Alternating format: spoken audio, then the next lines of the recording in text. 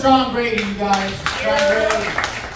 And give it up for me and my wife. We just celebrated 20 years of marriage, you guys. We actually been married for 22 years. Two of those years we don't celebrate. Two of those years were messed up. I'm embarrassed to say there was some verbal, physical, and mental abuse in two of those years, and my wife still has charges pending.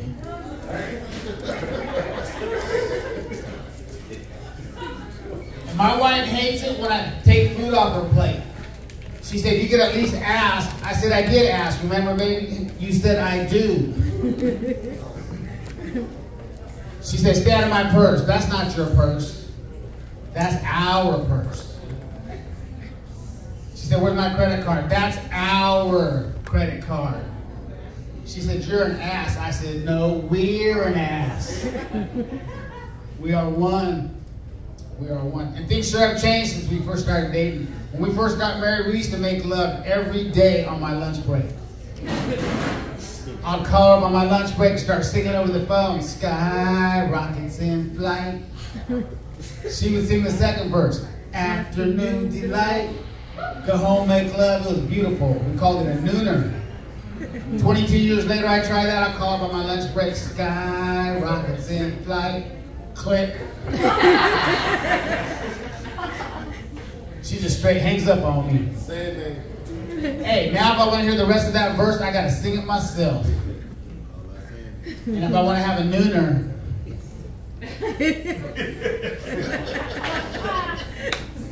I got to do that myself too. Nothing has changed is now when we make love, we got to have the TV on.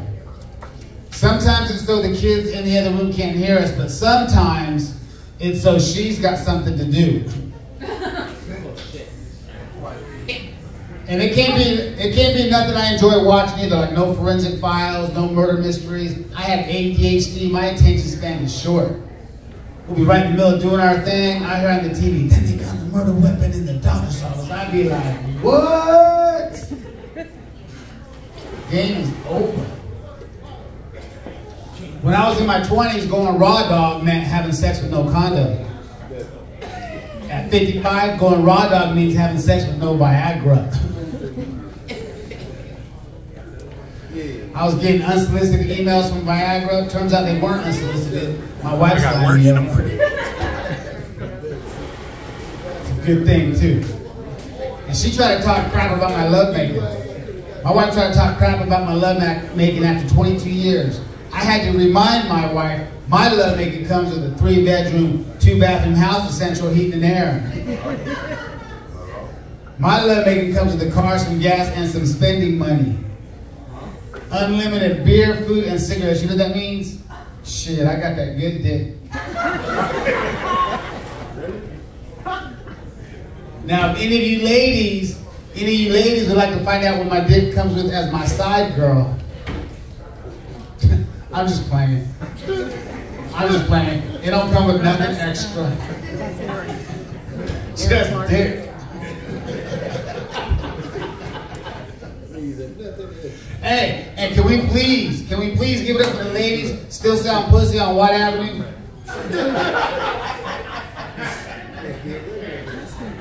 They talking all about it on the internet, how they still sell pussy on Watt Avenue, but they won't say exactly where.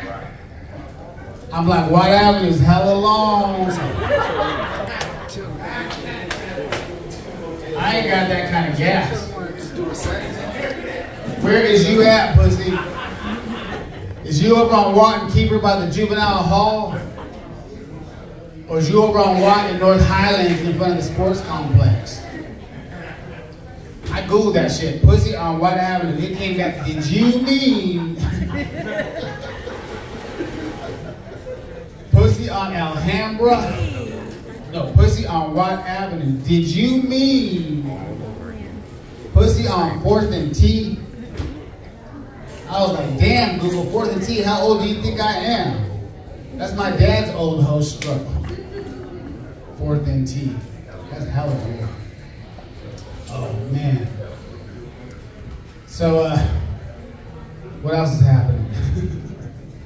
You guys having a good time? Yeah. Yeah. This ain't too late for you guys, is it?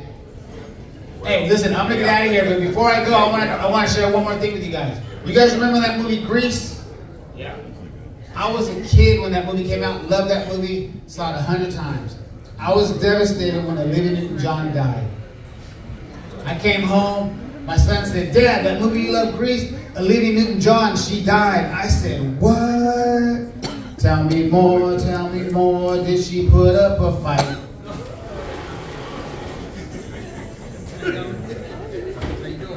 My wife said, that's not funny. She did put up a fight, as a matter of fact. Four years of breast cancer. You're an ass. No, we're an ass. Hey, you guys, my name is Danny Luna. Thank you.